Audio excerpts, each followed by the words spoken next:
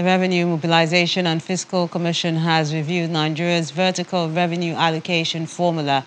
The four-volume report has been presented to President Muhammadu Buhari at the State House in Abuja during a visit by the delegation from the Commission.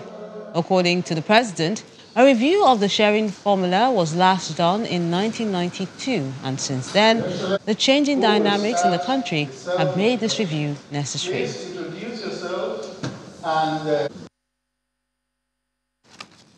With regards to the social funds, an increase of 0.2% for the Federal Capital Territory and a decrease of 0.38% for development of natural resources are being proposed. As you are aware, the federal government also made its input into the process of reviewing the vertical revenue allocation formula based on existing constitutional provisions for roles and responsibilities for the different tiers of government.